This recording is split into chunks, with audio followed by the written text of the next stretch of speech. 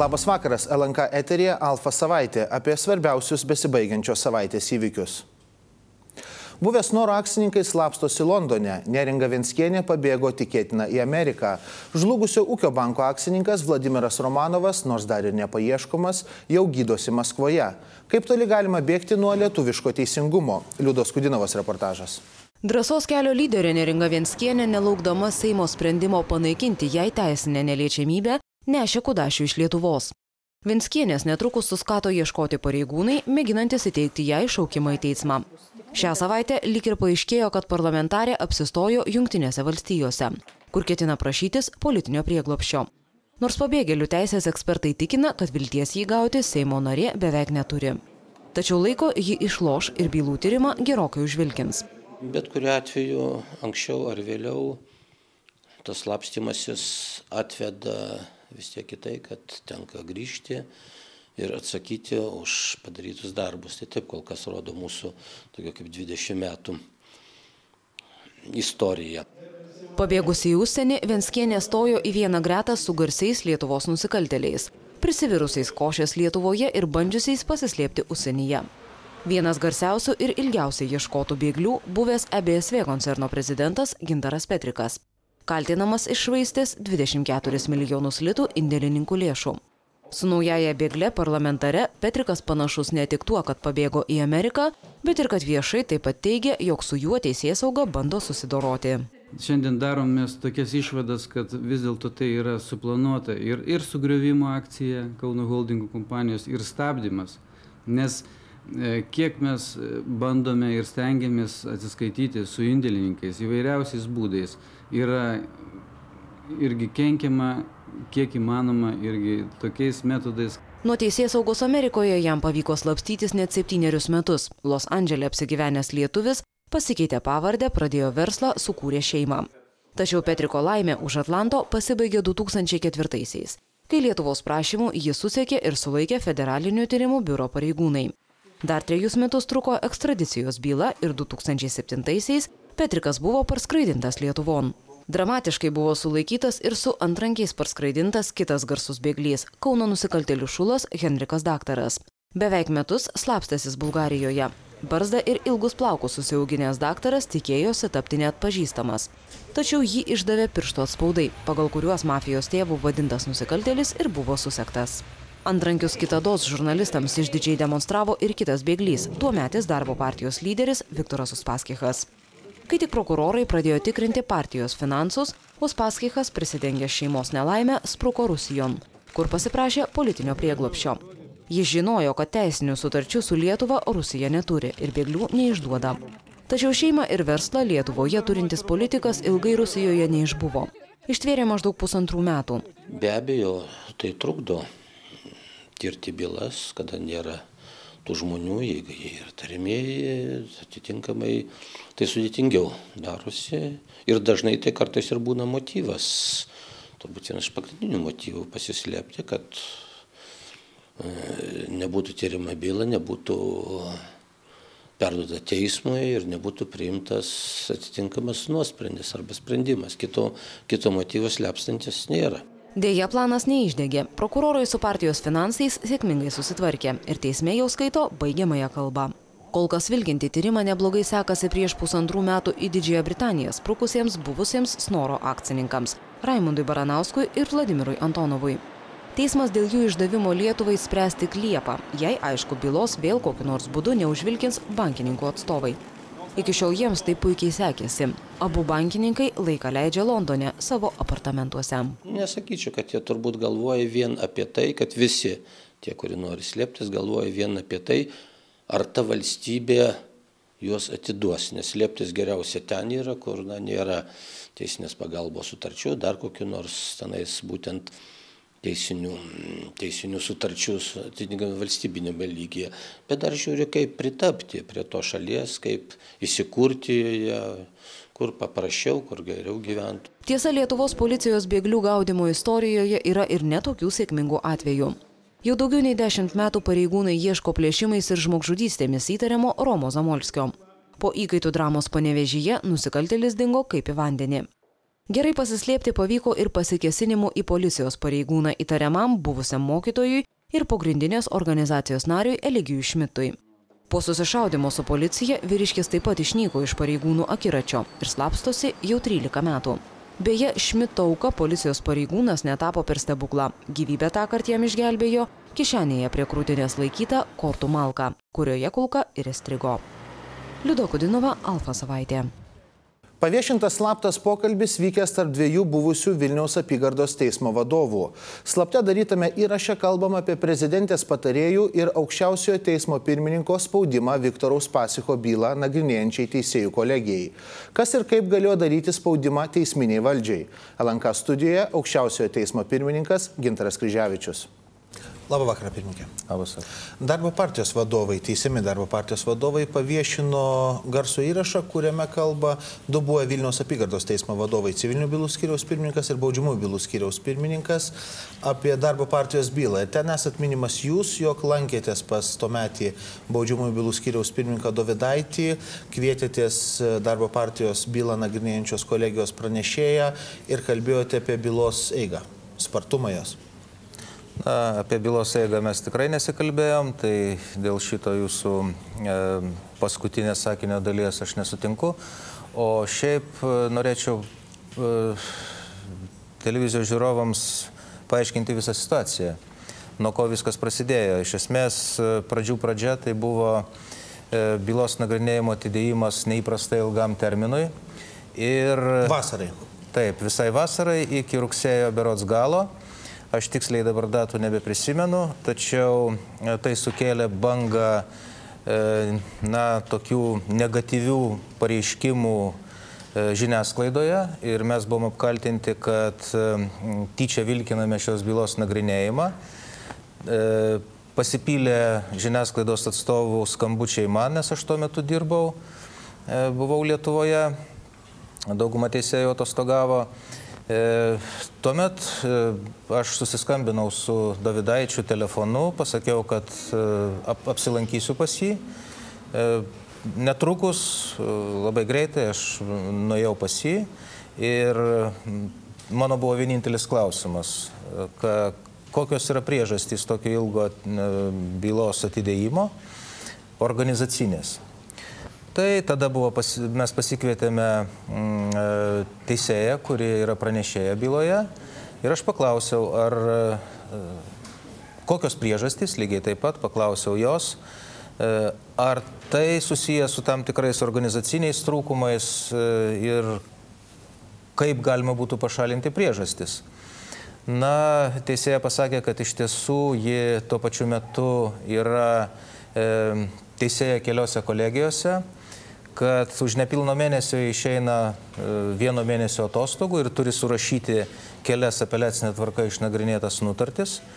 Ir e, toks atidėjimas yra visiškai natūralus, nes e, anksčiau paprasčiausiai atidėti šios bylos nagrinėjimo negalėjusi.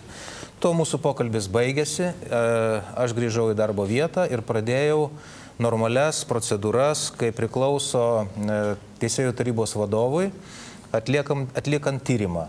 Mes surinkom visą medžiagą, diskutavom keliose tarybose, kadangi šis pavyzdys tokio atidėjimo tai yra tikrai netinkamo teismų darbo pavyzdys. Ir e, Teisėjų tarybos posėdžiui surinktos medžiagos pagrindų e, vėliau, jau po dviejų mėnesių maždaug, taip pat tiksliai datos neprisimenu, buvo pakeistos kelios tvarkos, kur nustatyta, kad teisėjas nagrinėjantis tokias sudėtingas e, bylas pagal savo pobūdį, reikšmingas, e, turėtų galimybę, e, na, tinkamai pasiruošti joms, dėl to galėtų būti mažinamas darbo krūvis.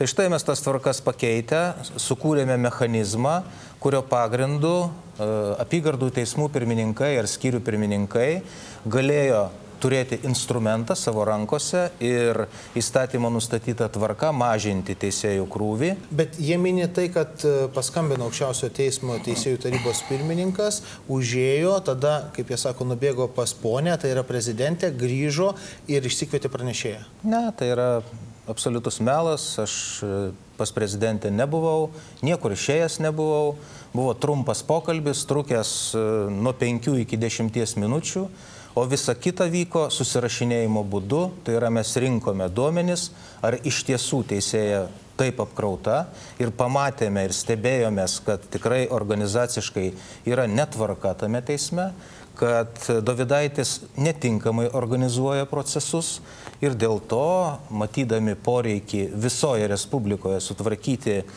na, tokią mm, netinkamą, pašalinti netinkamą organizavimo priežastis, E, tvarkėme savo norminius dokumentus. Tame pokalbėje tarp buvusių skyriaus pirmininkų minima prezidentės patarėjas Ernestas Rimšelis, kuris e, neva teismuose labai laisvai tvarkosi, kviečia teisėjus, duoda teismų pirmininkam pavedimus. Man tokie atvejai nežinomi, aš kaip Teisėjų tarybos pirmininkas labai dažnai bendrauju su juo. Aš laikau tai vienu iš korektiškiausių ir kvalifikuočiausių žmonių toje tarnyboje, tikrai teismų klausimais, nes jis pats dirbęs ilgą laiką apeliacinėme teisme ir žino teismų darbą iš vidaus. Tačiau aš tikrai netikiu tuo, kad e, šis žmogus galėtų bet kaip įtakoti e, teismų darbą. Dėl neringos Venskienės, e, jos šalininkai Seime, jos atstovai Seime sako, jog ji kreipsis į užsienio valstybę su prašymu e, duoti politinį prieglopstį, nes jinai negali susilaukti teisingo teismo ir argumentas yra, kad jūs kaip aukščiausio teismo pirmininkas esate išsakęs iš ankstinę nuomonę, jog yra teisinės ir politinės sistemos pulinys. Na, aš neturėčiau ką komentuoti, tai yra pasirinkimo teisė, dabar jinai yra politinės bendruomenės e, atstovė ir politikams vertinti Venskienės veiksmus, e, tol, kol ji buvo mūsų bendruomenės žmogus, e, aš kaip teisėjų tarybos pirmininkas turėjau pareigą pasisakyti ir pasakyti, kad teisinė drausmė ir teis, te, teismų sprendimų. Ir nevykdymas sprendimų. Na, sprendimų nevykdymas ir kiti jos pasisakymai na, nesuderinami su teisėjo veikla. E, todėl nereikėtų taip elgtis ir tai buvo pasakyta ne kartą. O dėl to, e, ką jūs dabar sakėte, tai yra tam galimybė pasiklausyti laidą ir iš konteksto ištraukti žodžiai, ne visai tikslų žodžiai, aš manau, tai yra tik tai interpretacijos. Ačiū už pokalbį. Rusijos opozicija atskleidžia, kodėl Lietuva moka daugiausiai už Gazpromo dujas. Donato Stundžio reportažas. Pietų Korejoje į vandenį nuleidžiamas Lietuvai skirtas suskystintų dujų terminalo laivas. Į Klaipėdą jis atplauks tik kitą metą, matyt, dar reikia išbandyti jūroje, tačiau daug žadantį pavadinimą Independence, reiškinti nepriklausomybę, laivas jau turi. Tai yra simbolinis pavadinimas, kuris parodo, kad šitas laivas užtikrins dujinę mūsų valstybės nepriklausomybę. Taip, Aš manau, kad taip. Ir kitas matyt kozeris yra, kad e, dujų eksportas į Europą iš Rusijos pusės tikriausiai mažėja. Kol korejiečiai stato Lietuvos valdžios vilčių laivą, Gazpromas mina energetikos ministerijos lengstį. Po poros metų baigėsi ilgalaikė sutartis dėl dujų tiekimo Lietuvai ir rusai norėtų ją pratesti. Pagal dabar galiojančią sutartį Lietuva už dujas moka brangiausiai Europoje. Gazprom теряет э, европейские рынки. Gazpromas praranda Europos rinką. Ypač dideli praradimai Belgijoje, Olandijoje, Prancūzijoje. Krenta pardavimai ir Gazpromas netenka pinigų. Todėl jis ieško, iš ko galėtų jų paimti. Ir žinoma, lengviausia ten, kur Gazpromas monopolistas, kur žmonės neturi pasirinkimo. Lietuva, kaip suprantu, pasirinkimo neturi ir priversta mokėti tiek, kiek pasako Gazpromas у «Газпрома» по той цене, которую он назначает. Конец этой политики. Ši politika baigsis, kai Gazpromas praras Europos rinką. Tai lems ir gavybos didėjimas Norvegijoje, ir suskystintų dujų tiekimas, ir perspektyvos gauti dujų iš Junktinių valstijų. Manau, tai ne už kalnų. Jau už poros metų dujų tankeris iš Amerikos bus prie Europos krantų. Tad dėrybos su Gazpromu turėtų būti nelengvus. Dar prieš dėrybą šalies valdžia paskelbė, kad dėl ginčio arbitraže dujų tiekimo atskirimo nuo Gazpromo valdomų Lietuvos dujų ir dėl ilgalaikių sutarčių Lietuva nesiderės. Susitikimas vyko gana konstruktyvus ir jų nenustebino tokia Lietuvos pozicija ir pasakė, kad toliau dirbs ekspertai ir jie turi atlikti tam tikrą darbą, kad po to galėtų vėl susitikti ir dėrėtis. Šalies valdžia tikisi, kad Korejoje statomas dujų terminalo laivas taps rimtu argumentu siekiant, kad Gazpromas dujas tiektų rinkos kainą. Politikos darimas ir tai, kaip smarkiai Gazpromas spaudžia, priklauso nuo to, ar perkančioji šalis turi alternatyvių tiekimo šaltinių. Jei jų nėra, jūs visada būsite silpnesniojo vietoje. Reiškia, ir politika bus įmaišyta, ir kainos aukštos. Tad jei pas jūs nėra alternatyvos, reikia daryti viską, kad ją sukurtumėte.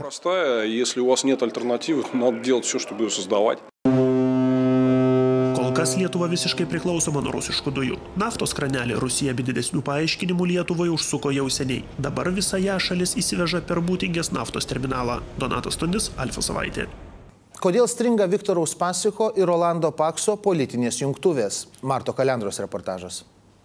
Dar vasarį tvarkiečių ir darbiečių lyderiai sukirto rankomis ir išreiškė norą būti kartu vienoje partijoje. Rolandas Paksas netgi sutiko aukoti kelis tūkstančius partijų jungtuvėmis nepatenkintų narių. Iš karto turėjo susijungti frakcijos Seime, atsirasti pavadinimas, įstatai programa, o steigiamasis suvažiavimas vykti balandį. Tačiau regis taip demonstruota Pakso ir Uspaskiko meilė greitai gali virsti neapykanta. Mat blėstantis darbiečių lyderio jungtuvių entuzijazmas tvarkiečių vadą pradeda piktinti. Aš asmeniškai nesu patenkintas, nesu patenkintas uh, tempu, nesu patenkintas padarytais darbais uh, darybinės uh, grupės. Ir būtent todėl trečiadienį, kitą savaitę mes kviečiam prezidiumo valdybos frakcijos posėdžius ir bandysim klausyti, ką sakys mūsų darybinių grupių atstovai. Kodėl mes šiandien dar neturim programos, kodėl mes dar neturim suderinto statuto, kodėl neturim ženklo pavadinimo ir daugeliu kitų dalykų, kodėl atsiliekam nuo grafiko ir kur yra priežastis. Uspaskikas atkerta, kad rūpintis jungimuisi su paksistais neturi laiko. Nežinau, aš, matot, užsiejimus ir byloje, ir ten, tai net nesu susipažinęs, jiems lengviau kalbėti, kada pas juos daugiau laiko ir visa kita, daugiau galbūt yra laiko atlikti namų darbus, su savo skyriais ir taip toliau, pas mus daug mažiau, todėl kad atimat šitas procesas, atima procesas ir sujungimasis su liberistų partija, nori, nenori jis atima. Todėl tai yra toks objektivus, gali būti uh, užtrukimas. Bet nu, mūsų noras tai yra. Mes tarėmės ir mano supratimu, kad tokie dalykai turi būti padaromi arba labai greitai, arba tampa panašu į tą įžymų liberalų ir centro jungimąsi, kuris tęsiasi ten 10 ir 11 metų. Ir iki šiol jis neįvyko. Nustūmę į šalį toktuvę su tvarkiečiais, darbiečiai balandžio pabaigoje susijungė su realiai neveikiančia leiboristų partija. Naujas darinys vadinasi darbo partija leiboristai. Buvęs darbo partijos vadovas Uspaskikas partijos vairą perdavė Vytautui Gapšiui, o pats tapo partijos pirmininko pavaduotoju. Politologai mano, kad tai ir yra priežastis, kodėl jungtuvė su paksistais užstrigo. Esą Uspaskikui tik reikėjo išgelbėti partiją nuo baudžiamosios atsakomybės. Matyt, pasitvirtina ta hipotezė, arba spėjimas lietuviškai, kad šitas jungimasis buvo darbo partijai reikalingas pirmiausia todėl, kad jie reikėjo pakeisti tapatybę. Tačiau matyt, darbo partijos elitas laiku prisiminė savo kažkada įkurtą leiboristų partiją ir tą dabar su jų tų partijų susijungimu gimė nauja partija, darbo partija Brūkšnelis leiboristai. Iš esmės tapatybė pakeista, tada kaip ir tas sandėris arba, arba sąjunga su tvarka teisingumu kaip ir nereikalinga. Čia, manau, toks yra, šiek tiek gali būti ir, nu, pykčio, ir, nes kadangi vis tiek šiek tiek kvepia apgavystė. Dar viena priežastis, dėl ko partijos gali nebesusijungti - nesutarimai dėl naujo junginio vado kėdės. Prieš keletą mėnesių prikalbinę tvarkiečius jungtis, darbiečiai pažadėjo, kad naujajam dariniui vadovaus Paksas, tačiau vėliau pozicija pasikeitė. Dumliauskas tikina, kad tarp Pakso ir Uspaskiko prasidėję nesutarimai gali virsti rimtų konfliktų. Manau, kad čia yra pono Pakso interesas. Jisai nenorėtų iš, iškristi iš, iš didžiosios politikos, nes, nes akivaizdžiai, kad jo partijos reitingai krenta. Ir, ir sakykime, po ketverių metų, 16 metų Seimo rinkimuose jinai gali neperžengti 5 procentų barjeros tą partiją. Bet tai ne tik Seimo rinkimų, dar ir parlamento, Europos parlamento rinkimai, kurie kitais metais. Uspaskikas dabar gali sakyti, yra naujas partijos pirmininkas, kalbėkis su naujoju pirmininku. Dabar ponas Uspaskikas kaip ir, ir nieko dėtas, jisai jau dabar ne pirmininkas, yra naujas pirmininkas ir manau, ponui Paksui teks kalbėti su naujoju pirmininku, o kaip naujasis pirmininkas nusiteikęs, mes galim tik spėlioti. Pasak politologo, norėdami išlikti didžiojoje politikoje, tvarkiečiai turi ieškoti naujų būdų privilioti rinkėjus, nes nuskriausto prezidento Pakso istorija jau įsikvėpė ir naujam rinkėjui nieko nebesako. Martas Kalendra, Alfa savaitė. Dėkui Alfa savaitė žiūrovams, iki kito sekmadienio, likite su Lanka.